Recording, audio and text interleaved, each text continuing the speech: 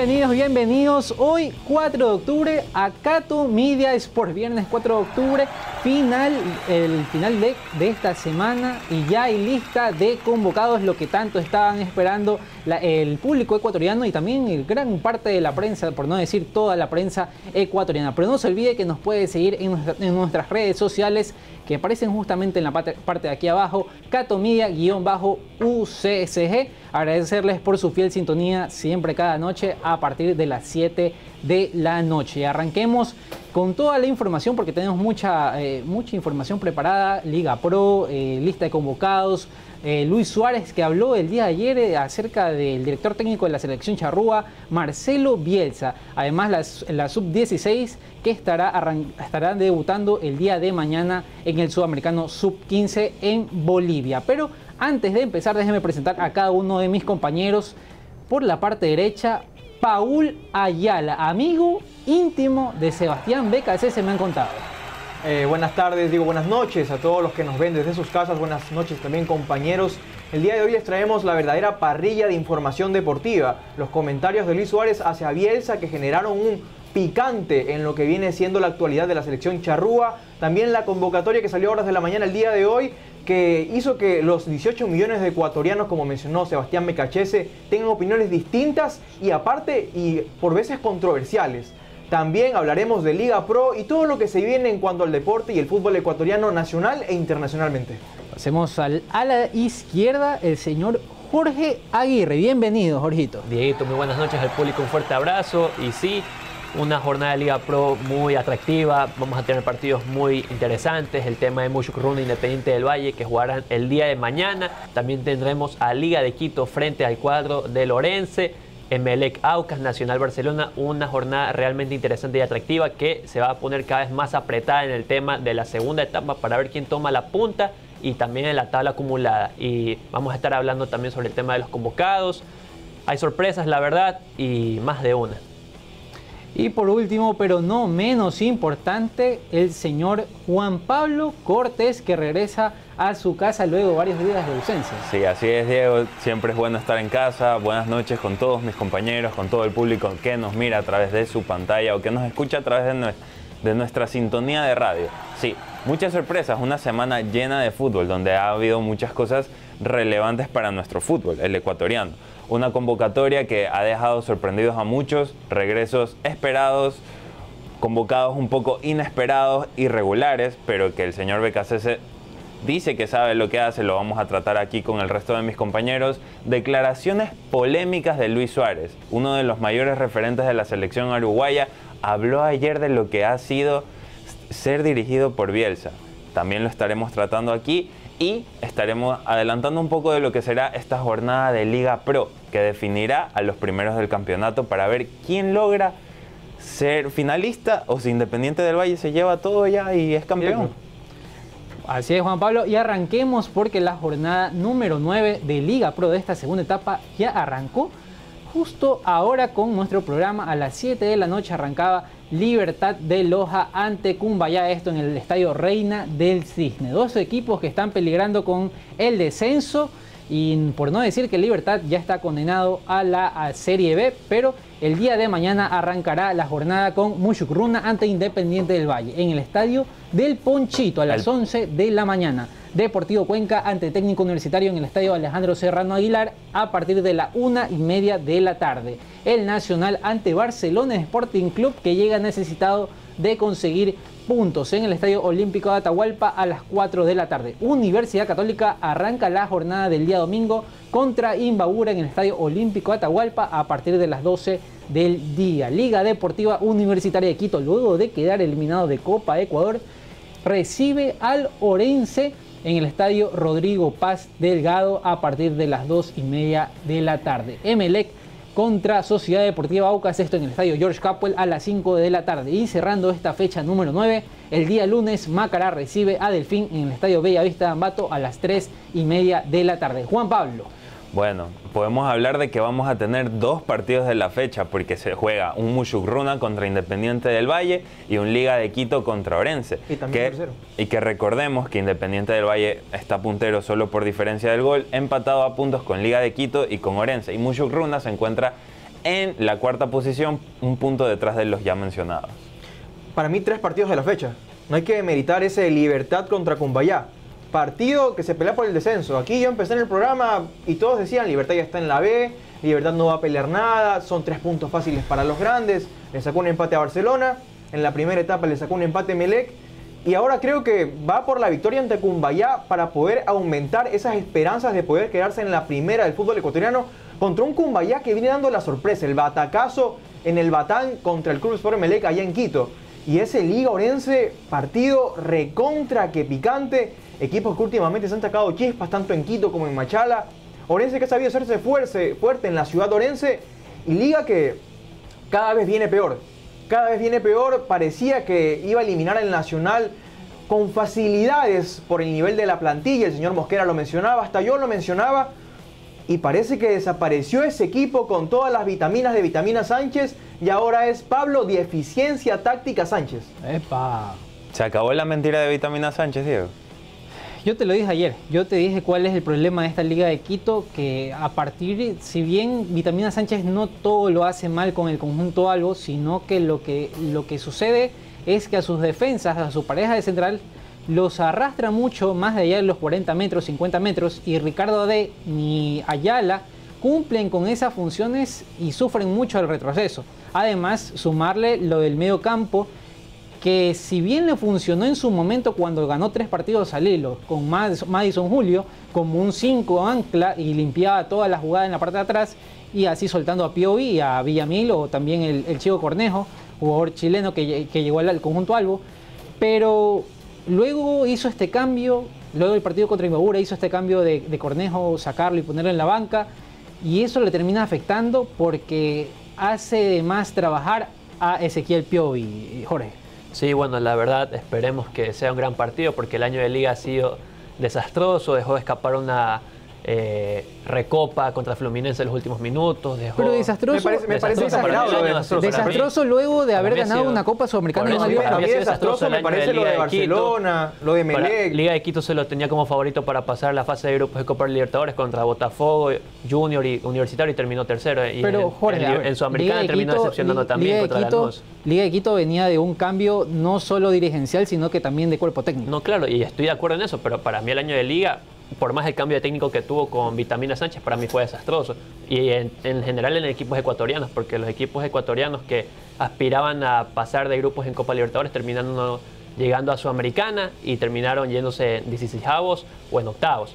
Y eso la, verdad queda mucho que desear de esta Liga Pro en este año. Y en el tema de Liga Orense, yo creo que Orense va a sacar puntos en el, en el Rodrigo Paz Delgado. Yo creo que con un empate ante Liga de Quito no lo vería mal, pero eso sí, se le complicaría mucho a Liga de obtener un empate. Juan Pablo, el club Sport Emelec cierra la jornada del día domingo ante Sociedad Deportiva Aucas. Si bien Aucas no llega en su mejor momento, en su mejor esplendor, pero lo mismo Emelec.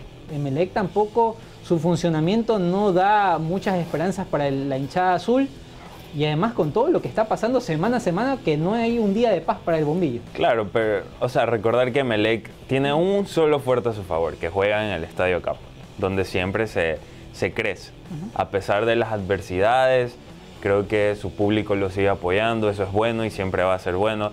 Eso es admirable del equipo eléctrico, como su público, a pesar de todo, sigue yendo al estadio, lo sigue alentando, pero el equipo no da resultados. O sea, los dio un tiempo pero esa derrota con Cumbayá los tiene que haber dejado demasiado afectados a los jugadores en cara a las jornadas que vienen de Liga Pro. Un Aucas que no viene del todo eh, estable, pero que yo creo que va a estar decidido a sacar puntos en el capo. Yo creo que más allá de los problemas futbolísticos de Melec, no me quiero imaginar cómo está la cabeza de los jugadores después de todas las noticias malas que han salido esta semana. Embargos del banco, más deudas, demanda de, de FIFA, cierres de fichajes los jugadores azules que hace pocas semanas no habían entrenado a semana seguida. No me sorprendería que salgan preocupados al partido contra Aucas, más allá de que Aucas tiene eliminaciones futbolísticas, también administrativas, pero casi no se habla mucho del equipo oriental por estar un poquito alejado de, los medios de la costa y también ser un equipo, se podría decir, por debajo de los titulares. Porque siempre se habla de Melec, Barcelona, Liga y por ahí el Nacional. De Aucas no se habla mucho, pero también tiene problemas dirigenciales y futbolísticos que para mí, Emelec, lo mencionamos ayer también, viene en una alza futbolística que es una pizca, una pizca que quizás, solo quizás le podría alcanzar para poder vencer este Aucas endeble en la mayoría de sus líneas, que ni siquiera tiene una figura, porque hasta el arquero que era figura en Aucas, que en la primera etapa lo puso junto al goleador Medina, que ahora está en Independiente del Valle, a pelear esos primeros puestos, pareciera que se olvidaron de jugar al fútbol y que les preocupa mucho más lo que pasa en la dirigencia que lo que pasa dentro de la cancha, en donde son 11 contra 11 y hay que meter un balón dentro del arco. Y es sorprendente cómo, justamente mencionando lo, del tema de Aucas, cómo en cuestión de tan poco tiempo un equipo se puede venir abajo. Estamos hablando de que Aucas venía de ser campeón hace aproximadamente dos años. O sea, antes de Liga de Quito, Aucas fue el, actual campeón. Invicto. Eh, le ganó Barcelona en el Monumental. Parecía que venía una época dorada para el equipo quiteño, pero al parecer las malas decisiones dirigenciales, sí, dirigenciales y todo este tipo de contexto que abarca el equipo quiteño no lo ha dejado florecer del todo y tal vez nos perdimos el mejor Aucas que podríamos haber visto. No creo que ya lo vimos. Mm. Y pero difícilmente lo volveremos a ver. Pero creo que dejó un mal sabor de boca. Creo que, mira, lo de Aucas es lo que pasa actualmente con los equipos ecuatorianos que están siendo manejados de mala manera por sus, por sus respectivas dirigencias, salvo Independiente del Valle, que es el equipo que se por ahí eh, se lo puede rescatar. ¿Y Orense? Sí, y Orense también, Orense también. Pero quedémonos ahí de momento con el tema Liga Pro, que ya arrancó esta noche y pasemos y, regresamos al segundo bloque donde tenemos un gran invitado, invitado muy, muy especial. Así que ya regresamos, no se levante de su asiento.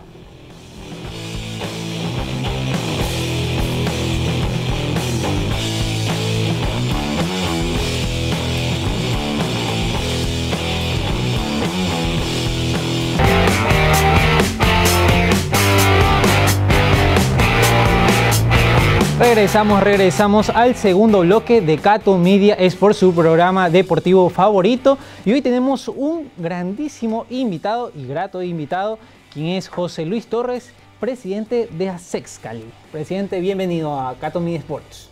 ¿Cómo están? Muy buenas tardes con todos, gracias por la invitación y aquí estamos para poder promocionar esta, este bonito evento deportivo. Así es, eh, presidente, Corre Cadete Corre, iniciativa, ¿cómo, nace esta iniciativa que se hará eh, el próximo 29 de octubre? 27 de octubre. 27 de octubre. Sí. Bueno, esta iniciativa nace de la Asociación de la Administración 2023-2025, ¿no? tratando de integrar a todos los colegios ¿no? de la ciudad de Guayaquil, especialmente a los que tienen el nombre de cadete, ¿no? que son varias academias navales y del ejército también de la ciudad de Guayaquil, ¿no? y, e integrarlo en este sano deporte de que es el atletismo. ¿no? Eh, presidente, ¿cómo es organizar este evento? Porque siempre hay que, tienen que llegar los sponsors para auspiciar estos, estas carreras. Pero ¿qué más conlleva esta organización que debe ser completa? Porque me comentaba que no solo son estudiantes, sino que también es para el público general. Sí, este, este proyecto yo lo desarrollamos desde el mes de enero, ¿no? Nosotros hacemos la planificación B más 1, o sea, el año pasado para este año. Y quisimos hacer este evento, entonces, eh, pidiendo todos los permisos a, las autoridades correspondientes, municipio, ATM, policía, va a gozar también de seguridad de Fuerzas Armadas, para poder este, garantizar que esto sea un éxito, ¿no? Y referente a los sponsors, se ha venido trabajando, ¿para qué? Para que ellos financien esta carrera, ¿no? Para que financien esta carrera y sigan adelante. Claro, señor presidente José Luis, ¿no? Eh, ¿Cuál ha sido esta complicación de organizar un evento tan magno? Porque usted menciona que está buscando que se integre a la mayoría de los colegios de Guayaquil, no solo los que se mencionan como cadetes, que son los colegios militares como el almirante Illingworth. ¿Qué, ¿Cuál es esa dificultad que ha tenido esta organización de la Asociación de Ex Estudiantes de ese colegio para, que, para querer y poder juntar a todos estos colegios en esa carrera? Bueno, este, Primeramente son los permisos. Los permisos no son, no son rápidos, los permisos demoran, tienen su tiempo ante las autoridades pertinentes y hacer la publicidad en los diferentes colegios. Entonces, por eso hay una comisión que está visitando los colegios para que se puedan inscribir. ¿no? Ah, listo. ¿Y usted piensa esto como un plan a futuro, que siga repitiéndose año a año? Así es. Como es primera edición y ventajosamente yo he tenido la oportunidad de realizar carreras a nivel armada, no hemos podido creer en este proyecto. Esperamos que haya una acogida de unos mil corredores posiblemente. Presidente, acá, eh, ¿cómo está? Muy buenas noches. Eh, ¿Con cuántos días de anticipación se hacen los preparativos para esta carrera? Esto incluye los puestos de hidratación para los competidores, también el tema de las barreras o cintas o rejas para también, en este caso, para que las personas puedan correr. Eh, ¿Con cuántos días más o menos se tienen preparados estos? Porque va a ser en el, en el estadio Chucho Benítez, en Parque Samanes. Sí, prácticamente la logística, montar la logística ya se hace con unos 30 días de anticipación, ¿no? que se consulta con los proveedores, con los eh, que van a poner los inflables, la seguridad. Casualmente hoy día vine hablando con, con Parques Amanes para que nos dé todas las facilidades correspondientes y las seguridades tanto en vallas y, y, toda la logística que corresponde a este evento. Y en el tema también, como es la primera edición, ¿no? Para las próximas ediciones que estoy seguro que se van a hacer, ¿tienen pensado si mantenerse aquí en Guayaquil o en otras provincias? Básicamente en Guayaquil, en Guayaquil, que es nuestra ciudad, digamos, emblemática, ¿no? Y esto lo hacemos por el cierre de las fiestas octubrinas. Claro. Eso fue planificado también desde mucho tiempo. ¿Cómo está, presidente? Buenas tardes, buenas noches. Sí, yo le quería hacer una consulta sobre la carrera. ¿Hasta cuándo es el límite en la que la gente se puede inscribir? Bueno, el límite es hasta el día 20 el día de la carrera es 27, cinco días antes se cierra la inscripción. Hasta cinco días antes. Y está abierta para todo tipo de público y todo este, este público que desea quizás inscribirse, no solo en los colegios, ¿pueden optar por correr en, ambas opciones, en 5K y 10K o hay como que un...? Sí, básicamente como ustedes ven, 5K es para los estudiantes ¿no? y 10K es para el público en general. Pero prácticamente lo hemos hecho para estudiantes solo 5K, que lo desarrollan una carrera en unos 30 minutos y ya está diagramada, ¿no? y, los, y los 10K una hora y media demora el último corredor. Entonces hay corredores élite también que están en nuestra página web www.correcaetecorre.com y ahí está toda la información. ¿no? En el caso de que haya algún estudiante que, que, sea deportista en algún caso y que quiera hacer la prueba de los 10K, ¿está permitido eso? Claro, sí, por eso digo, se lo puede calificar como élite y, en las diferentes categorías. ¿no? La categoría de, de colegial es de 11 años a 14 años y de 15 años a 19 años. Esa es la categoría colegial, son dos categorías. Y, la categoría general viene de los 20 años, que ya una vez se termina el colegio, hasta los 29, 29, 30, 39 y así sucesivamente, cinco categorías. Y el campeón de la general es el corredor que ya se ha experimentado, ¿no? que por lo general siempre vienen y, a ellos se les va a premiar económicamente, ¿no? Ah, al, primer, al, que rompe la marca, digamos. ¿no? Presidente José Luis, eh, ¿Cuáles son los premios que se darán a los ganadores de estas dos competiciones, el 5K y 10K?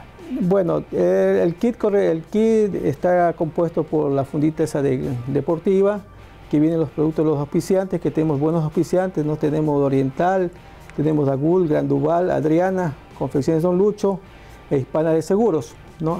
Hasta ahora y ya vienen unos cinco más que nos van a colaborar con los productos promocionales que van a ir en la fundita esa del kit además de su respectiva medalla y su respectiva camiseta. Y la logística que corresponde a toda la evento deportivo, ¿no? Agua, spray, masajes para los quizás que se calabran algún rato, ¿no? Todo eso. Y señor presidente, ¿cuál va a ser esta ruta que se va a manejar en esta carrera 5K y 10K para que la gente que nos ve se haga una idea de, los lugares por los que va a pasar recorriendo? Sí, la ruta ya está diagramada. Entonces salimos desde la parte lateral del estadio Chucho Benítez, los estudiantes hacen una vuelta larga por esa calle, avenida principal, y regresan y, regresan ahí mismo.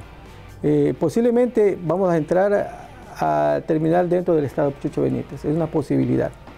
Y los otros, los que son 10K, hacen la misma vuelta y duplican la vuelta dando la vuelta al Parque Samanes, ¿no?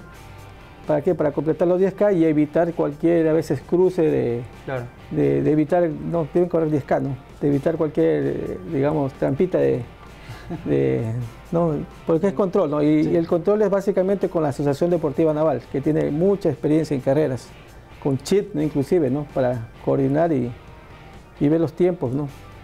Muy, bien, controlado. En el tema del lugar, Parque Samanes, bueno, al ser un lugar bastante amplio para este tipo de eventos, ¿fue la primera opción o tuvieron otras opciones? Bueno, la primera opción era hacerlo en nuestro colegio, ¿no? que es la Academia Naval Almirante Illingworth, en la avenida esa larga que, que va del cementerio Jardín de la Esperanza. ¿no? Esa fue la primera opción, pero vimos que era muy pequeño y muy congestionado. Entonces buscamos otro escenario y qué mejor que el Parque Samanes, que es uno que se presta para este tipo de carreras. Presidente, para ir eh, eh, finalizando un poco la entrevista, explícale a la gente cómo se puede inscribir a, esta, a este gran evento, eh, los contactos, si hay redes sociales, el día del evento y el costo de, participar en esta gran carrera. Sí, este, es muy fácil, hemos hecho demasiado fácil. Solo debe, pues, entrar en la página web www.correcadetecorre.com le aplasta ahí y automáticamente le va a la, página de inscripción. El costo para el estudiante, como digo, cuesta 15 dólares ¿no? y el costo para el público general cuesta 20 dólares. Y con opción a un sorteo de diferentes premios que vamos aquí. O sea, estamos incentivando la carrera que no solamente con el kit de participación gana, sino que puede ganarse un televisor, dos bicicletas, ¿no? un microondas, y ahorita el Ouija me acaba de, confirmar que va a estar una, estancia de una noche, dos, dos días con desayunos incluidos para los ganadores. Mm, qué importante que también eh, la empresa privada esté aportando en este tipo de eventos que a la final eh, beneficia al deporte ecuatoriano. Sí, a eso estamos apuntando para que a futuro este tipo de carreras no le cueste al estudiante. Sí, justamente yo tenía una última pregunta. Sí, eh, con esta primera edición de esta carrera, ¿buscan en el futuro realizar como que más ediciones en un solo año? Por ejemplo, dos veces al año, en dos etapas distintas del año, o simplemente como que una vez al año para no perder la constancia? Por lo pronto está planificado una vez al año. Una vez al año. No, porque armar una carrera es bastante, bastante largo y, nuestro, digamos, no, es ningún negocio hacer una carrera ¿no? de, lucro, sino es un es una actividad que hacemos por el bien social, porque nuestra asociación tiene muchas características, ¿no? muchos valores que incluye la, inclusión social. ¿no? Y, bueno que estemos aquí porque nosotros entregamos, con este producto de aquí, entregamos juguetes a los niños pobres en diciembre. Y lo hacemos en la Academia Illingor. ¿no? Concentramos de varios colegios de, de necesidades y llevamos un grupo de 100 de cinco colegios de escasos recursos y los llevamos a la Academia Illingworth. Y hacemos una entrega de juguetes a nivel masivo, ¿no? con la ayuda de la empresa privada, ayuda de la gobernación, todas esas cosas. Y algo bonito, ¿no? porque el fin es social. Y esto es más social que, digamos, económico, ¿no? Que a veces piensan, no, uno hace carreras por ganar plata, pero uno lo hace por, por hacer una ayuda a la juventud especialmente, ¿no? A los, a los a los digamos, estudiantes y también que participen los padres de los estudiantes, porque algún día también fueron algunos cadetes, ¿no? En nuestra Illingworth, nuestro colegio Illingworth lo dijo, ya están, ya están ahí en la Illingworth, ¿no? Esto es una cadena que va, y por eso se llama Corre, Cadete, Corre. Presidente, agradecerle de antemano eh, por estar presente aquí y explicar sobre este gran evento que la verdad que eh, sé que la, juventud del, Almirante de Illingworth y además el público en general lo va a disfrutar mucho y esperemos que continúe de largo esta, este, este evento porque así apoya también a que la actividad física de las personas que tal, vez eh, sufren a veces de un tipo de condición física, entonces esto aporta a que se incentive el deporte ecuatoriano agradecerle por estar presente aquí, presidente José Luis. Y ya regresamos eh, en Cato Mi Sport con mucha más información, porque hoy hubo convocados ya para las fechas eliminatorias de Sebastián Becasese, que estará al mando del banquillo tricolor. Volvemos.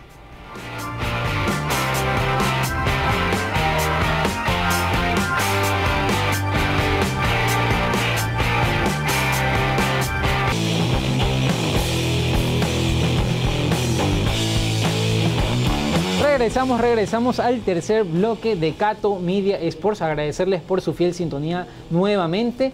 Y teníamos en el segundo, en el anterior bloque, a un gran invitado, el señor José Luis, eh, presidente del AXEX. Pero ahora arranquemos con la lista de convocados que ya se conoció oficialmente el día de hoy por parte del señor Sebastián Becasese, que el día de ayer brindaba una rueda de prensa y aclaraba ciertas eh, consultas que le hacía gran parte de la prensa ecuatoriana. así que veamos quiénes han sido convocados para los partidos ante Paraguay y Uruguay. En la portería, Hernán Galíndez junto a Moisés Ramírez de Independiente del Valle y Gonzalo Valle, arquero de Liga Deportiva Universitaria de Quito. Defensas, Piero Incapié, William Pacho, Félix Torres, Joel Ordóñez, Javier Arriaga, Pervis Estupiñán, Cristian Ramírez, Ángelo Preciado y Joaner Chávez. Como volantes, Alan Minda, Moisés Caicedo, Alan Franco, Pedro Vite, Oscar Zambrano, Kendry Páez, Jeremy Sarmiento, John Yeboa, Gonzalo Plata y John Mercado nuevamente aparecen en esta lista de convocados. Y en la delantera, tres nombres. Ener Valencia, Kevin Rodríguez y Leonardo Campana, El más señores. querido. El más querido por Janino Falloni que no está aquí. Epa. Sonaron las campanas, Dieguito. Finalmente se convocó a Leonardo Campana después de muchas eh, discusiones, que él tenía que ser el 9 de la tricolor, que si le dan pase, que no le dan pase. trinca, Pero El blanco. parece que en parte es bueno, al fin y al cabo, porque el señor BKC tiene otra opción de 9. Tiene un 9 rápido como Kevin Rodríguez, joven, un referente como Ener Valencia con experiencia, y ahora tiene un delantero 9 de área que sabe cómo moverse al fin y al cabo, ha tenido buenos compañeros en su club, Lionel Messi, Jordi Alba. Esperemos que los ecuatorianos estén a la altura también para abastecerlo como se lo hace en el Inter de Miami. Jorge, arranquemos con la portería. Hernán Galíndez, Moisés Ramírez y Gonzalo Valle. Creo que el nombre del portero suplente de Liga Deportiva Universitaria de Quito es el que más sorprende, aparte para mí, Moisés Ramírez. La verdad que sí, a- al parecer al profesor de se le gustan los arqueros que no tienen rendimiento en sus clubes. Gonzalo Valle creo que nomás por esa temporada que hizo en Guayaquil City, el No, día de Quito lo no, terminaron no. quemando. Cinco partidos nomás tiene Gonzalo Valle en lo que lleva actualmente en Liga de Quito. Moisés Ramírez no tiene el mejor nivel como para estar en la selección, aparte que ha venido teniendo ese recambio con el portero Villar. Eh, yo creo que la verdad esos dos nombres para mí no deben estar en la selección. Voy a añadir, a reemplazar por otros dos, no sumándoles tampoco a la convocatoria. Para mí el tema de Alexander Domínguez, eh, cosa que la temporada, en la convocatoria anterior tampoco lo convocaron, pero siento que igual es un arquero que es muy importante para la selección, porque es un referente también para los jóvenes que vienen a esta plantilla. Y en el segundo arquero, para mí, bueno, David Cabezas era lo más merecido por cómo venía actuando en Liga Pro y al parecer era, es uno de los mejores arqueros de la Liga Pro. Y bueno, también hay otro nombre, eh, de Pedro Ortiz, pero la verdad que esos dos nombres quedan debiendo. ¿Sabes, Jorge, por dónde creo que más pasa lo del tema de Alexander Domínguez? Creo que ya se está haciendo, terminando de hacer ese recambio generacional. Alexander Domínguez, eh, tampoco está Carlos Grueso, eh, Ángel Mena. Ángel, Me- Ángel Mena tampoco. Creo que ya el único que queda es Ener Valencia y creo que va a, ser, va a ser el único y el último que va a terminar saliendo progresivamente en esta lista de, de convocados a la larga. Así es. Yo quería mencionar algo. Jorge dice que Gonzalo Valle, que un rendimiento endeble, casi diciéndole que Gonzalo Valle está al mismo nivel que Moisés Ramírez en cuanto a, al futbolístico. Más Yo allá no de ser suplente, no más allá de ser suplente de Liga de Quito, eso. más allá de ser suplente de Liga de Quito, creo que Gonzalo Valle en sus actuaciones, que son menos que las de Moisés Ramírez, ha demostrado mucho más. Claro, hay este tipo de errores de, de concepto, de tipos de errores de timing, que no tiene, porque no tiene constancia en su club, porque adelante tiene Alexander Domínguez, que es una figura. Pero lo de Moisés Ramírez es una total vergüenza. Acá y en todo lado no entendemos por qué llevan a Moisés Ramírez, más allá de ser suplente independiente del Valle, por su nivel. Ha regalado unos goles increíbles. Hace un año capaz no tuviera criticado tanto esta convocatoria de Moisés Ramírez, porque bueno, el Independiente del Valle tuvo un buen nivel, atajó varios penales, ganó Copas Sudamericanas, pero ahora yo no veo el por dónde convocar a este, a este jugador. Gonzalo Valle es una sorpresa, no sé si decirla como grata o una sorpresa mala, pero a la final es una sorpresa. Lo que sí sorprende es que rajaron a los viejos. Señores, yo, le tengo, yo, le tengo, yo les tengo un invitado el día de hoy. La verdad que no podrá estar presencialmente aquí, pero está de manera virtual, está en tierras lejanas, así que ha regresado el hijo pródigo a Cato Media Sports, así que pónchelo por favor, señor Adrián, en los controles. Si, si me ayuda Al que lo extrañaba Yanino. el invitado. Muchos lo han extrañado en, esta, en este set de grabación. Mira, eh, quién ha regresado, el señor Andrés Mosquera. Bienvenido a Cato Media Sports nuevamente. Señores, ¿cómo están? Buenas noches allá en Ecuador. ¿Qué tal todo por allá? ¿Listos para esa convocatoria sorpresa, no? Muchos nombres que se habló en el programa. Leonardo Campana que se lo dijo, ya está. a las pruebas me remito. Yo tengo línea directa con el señor Becasese. Ya se habló de Ese es el verdadero mejor amigo de Becachese. El íntimo amigo del señor. El mejor amigo, pero ahí una, una relación cercana. Pero bueno, eh, independientemente de eso, eh, sorpresa en la selección, lo de Gonzalo Valle, estaba escuchando a los compañeros lo que hablaban, eh, una sorpresa, se ve que está también improvisando en el tema del arco, otro nombre que sale en la convocatoria, primero el de el del arquero Gilmar Napa, ahora el de Gonzalo Valle, sorpresas en la selección. Y el resto de convocados me parece que está a la altura. Lo de Oscar Zambrano para mí también es una sorpresa, porque bueno, está en otro equipo, ya no está en el equipo de que a algunos les molesta ya, pero ya está citado a la selección y esperemos pueda hacer dupla con Moisés Caicedo, que sería una grata sorpresa para la, el medio de la selección, pueda dar un recambio a ese medio de la selección ecuatoriana de fútbol.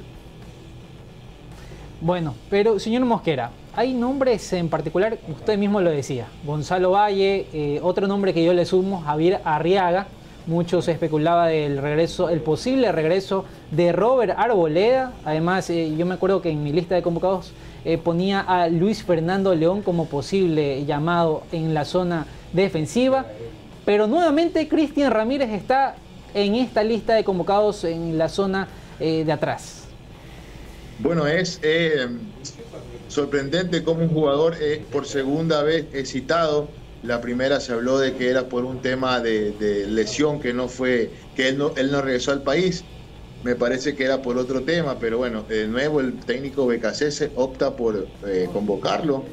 No sé, bueno, qué, qué, nivel le verá, porque realmente no tengo ahorita registro de, del señor Ramírez en, en el equipo donde juega y lo de Luis Fernando León, este Diego, eh, no creo que pueda ser llamado a la selección. Me parece que en el bloque defensivo los nombres que ya están son los mejores. Y Luis Fernando León, pese a que ha hecho un buen año con Emelec, no me parece que tenga un nivel como para estar hoy por hoy en la selección ecuatoriana. Pero yo te pregunto, Tenemos mejores centrales, mejores centrales que él. el nivel de Luis Fernando León y de Robert Arboleda creo que están por encima de Javier Arriaga sin duda alguna. Bueno, recordemos que la idea del técnico Becasés al convocarlo a, Javier Arriaga es por, por utilizarlo no como central, sino en esta posición de que él en el equipo de la MLS opta por jugar como una especie de, vaya, de...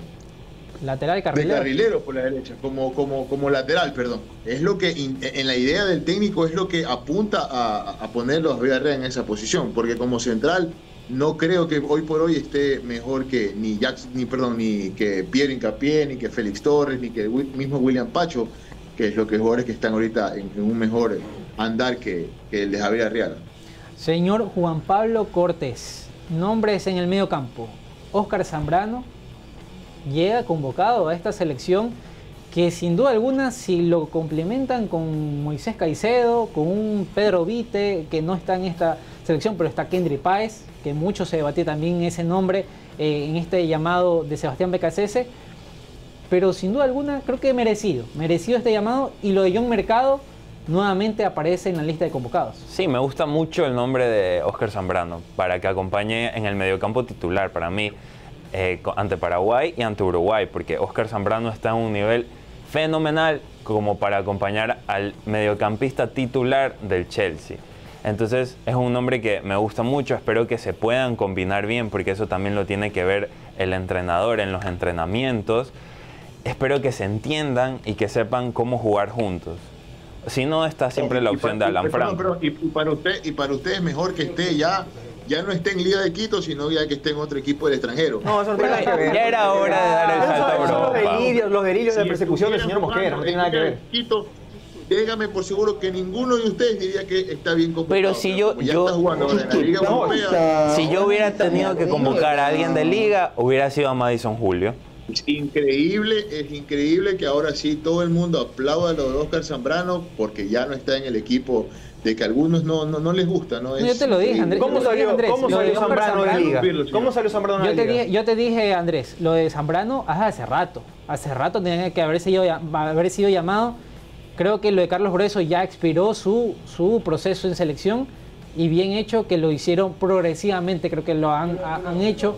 También lo de Ángel Mena, lo de Alexander Domínguez creo que más pasa, también es por ese tema del recambio generacional que ya está concluyendo. Andrés. Bueno, a ver, eh, lo de Alexander Domínguez, más que por un tema de cambio regeneracional que ustedes hablan, eh, yo creo que es, otro tipo de, situación en la que con Alexander Domínguez está pasando en la selección. Eh, yo, yo hasta, hasta hoy por hoy sigo sin entender cómo eh, alguien como Alexander Domínguez, independientemente del club en el que esté, porque yo sé que no les gusta en el club en el que está, por eso no, no, no, hablan, muy, no hablan a profundidad del tema.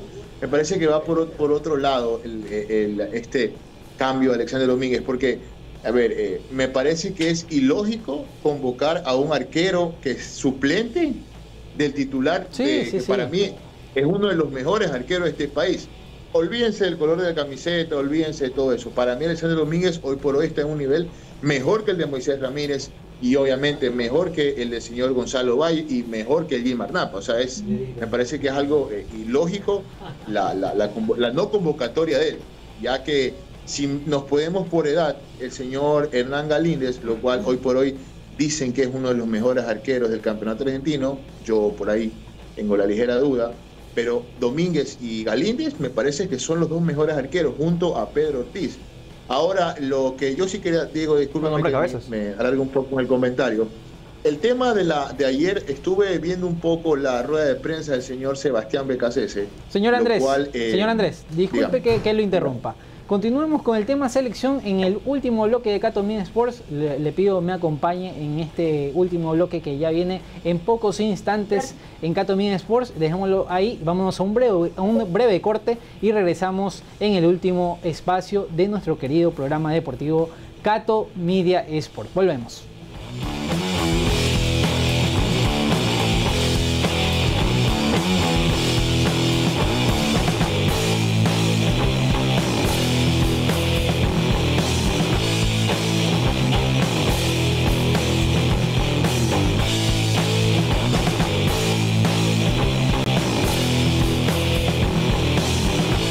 Regresamos, regresamos, regresamos al último bloque de Cato Media Sports. Agradecerles nuevamente por su fiel sintonía noche a noche a partir de las 7 de la noche aquí junto a nosotros el equipo, el gran equipo de Cato Media Sports que hemos conformado. Y quedamos hablando del tema de la lista de convocados que lanzó hoy el señor Sebastián BKCS.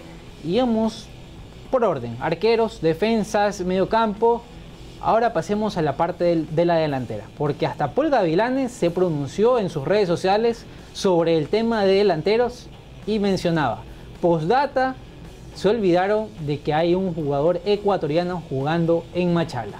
Señor Paola Ayala. Así es, yo en horas de la mañana podría decir que me puse un poco efusivo al momento de ver la convocatoria, porque lo primero que uno ve son los porteros, ¿no? Los que defienden el arco son los primeritos en esa lista de, la selección ecuatoriana y en todas las listas. Cuando vi ese nombre de Moisés Ramírez me quedé totalmente anonadado y pensé que había sido una lista anterior. Me di cuenta que no, porque en la delantera había el señor Leonardo Campana, que hace rato no venía siendo convocado a Copa América. No fue, fue a partidos amistosos, pero me parece que Miguel Parrales no juega en Liga Pro. No le paran bola a Miguelito Parrales, que es el goleador de esta segunda etapa y que pareciera que no está al nivel de Leonardo Campana, que es suplente de Luis Suárez en un equipo de la MLS. Bueno, juega con Messi, juega con Jordi Alba, lo mismo dicen acá de Dixon Arroyo y en Barcelona tampoco rinde. Entonces yo no sé si lo llevan por el equipo en el que juega, no solo por el nombre del equipo, sino por los jugadores por los que está rodeado. No, no entiendo la verdad de esta convocatoria en la delantera. Más allá de todo eso, me parece que es una selección equilibrada. No se llevaron tantos jugadores como la lista pasada, en la cual la mayoría no jugó. Jenner Corozo lo llamaron dos veces para Copa América y para las últimas fechas eliminatorias y no vio nunca la pelota dentro del once titular, mucho menos de suplente. Entonces, yo le doy la mano en esta al señor Becachese, ignorando el tema de los arqueros, y esta vez me levanté bondadoso hoy. Ah. Y le voy a dar esta confianza, esta fe a Leonardo Campana. A ver si por lo menos genera en mí lo mismo que generó en algún momento Kevin Rodríguez. Pero señor Paul, usted lo venía criticando a, Leonardo Campana durante toda la semana. Exactamente. ¿Cuál es el mensaje? Exactamente. Yo lo critiqué a Leonardo Campana toda la semana y no solo toda la semana. Las anteriores semanas también. ¿Por qué ahora porque lo piden, lo piden siempre y parece que un tema, es un tema un poco cansado pedirlo a cada rato porque el que está al mando de la selección es el técnico, más allá de los delirios de persecución del señor Mosquera. Señor pero- Andrés eh, Mosquera. El señor Mos, claro.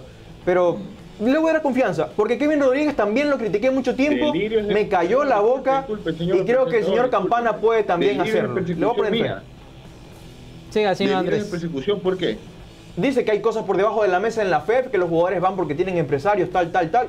Bueno, eso está, eso Mira, está más no. que claro. No, no, no. Ah, bueno, pero. Yo no pero creo en esas fábulas, yo no creo en esas fábulas. El agua, el agua caliente o qué?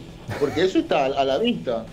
Eso está a la vista. A ver, la, la, la relación que tenga el señor Becasese con. A ver, yo quería hablar un poco, si me dejan, ¿no? De, de la rueda de prensa ayer del señor, lo cual, a ver, hay un, hay un intento de la federación eh, de poder integrarse con la prensa que ellos quieran, ojo. Porque cuando estaba el señor, este. Vaya, se me olvidó hasta el nombre de este, este señor, eh, Félix Sánchez Vaz. Ah, No, no, rueda de prensa era lo que menos había. Ahora resulta de que se habla, se lo hace hablar al señor Becasese un día antes de la que él de la convocatoria, lo cual a mí me parece una, una cosa eh, eh, terrible. ¿Por qué? Porque lo que, la- lo que hacen es que la lista de convocados sea algo, eh, un negocio, porque ya sabemos quién es el que publica la lista de convocados, una empresa cervecera en nuestro país, lo cual yo no entiendo por qué no lo sientan al señor Becasese el día 3, 4, el día que la federación quiera y que él pueda dar los nombres de, de- como sea en cualquier selección del mundo. Si usted se ve la selección de Perú, lo sientan a Fossati y dice, no, va ta, ta, ta, ta, y la prensa le pregunta por qué no está él, por qué no está el otro. O sea, hay un, hay un no sé, cuál es este, este siempre andar ocultando los nombres y después de que, después de que los den, ahí el señor tenga que hablar nuevamente, lo cual yo, yo no logro entender por qué lo hacen así.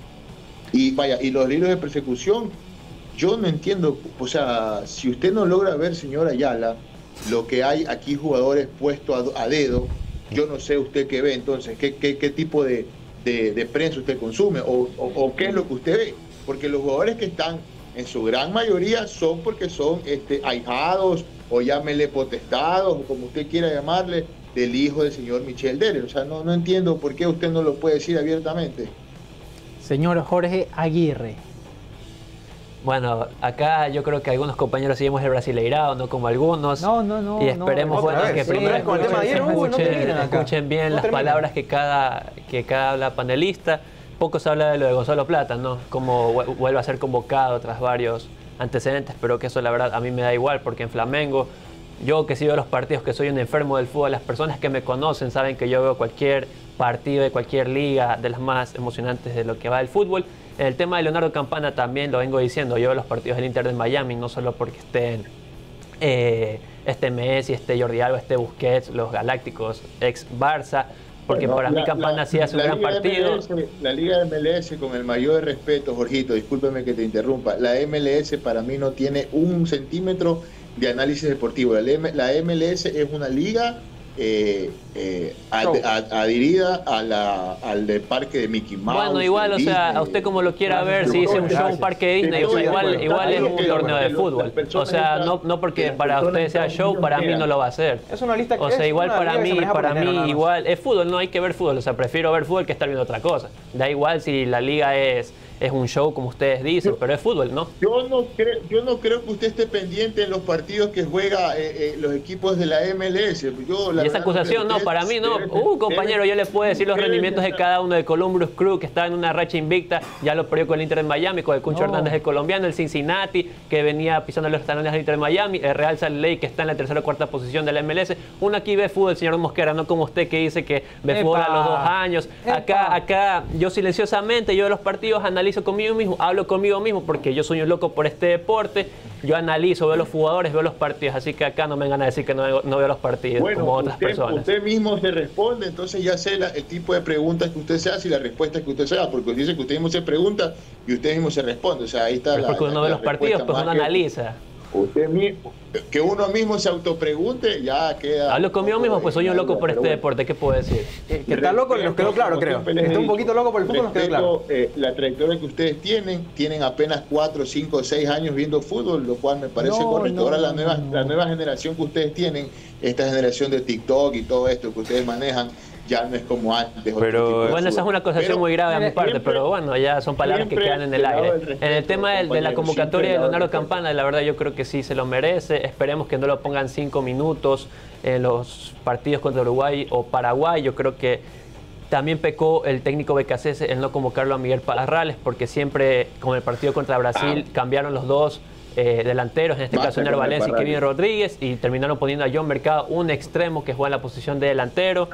Sí, también me habla mucho lo de Kendrick Páez. Lo de Kendrick Páez fue una desastrosa actuación en los últimos partidos con Independiente del Valle. Su último gol fue ante Cumbayá hace más de dos meses. y Junior Sornosa para mí lo tenía muy claro para hacer el fijo como venía llevándose el equipo al hombro, por esa lesión que tuvo, no pudo jugar ante Aucas, si mal no recuerdo, de ahí impecable actuación de Junior Sornosa, como lo venía comentando acá con mi compañero Juan Pablo.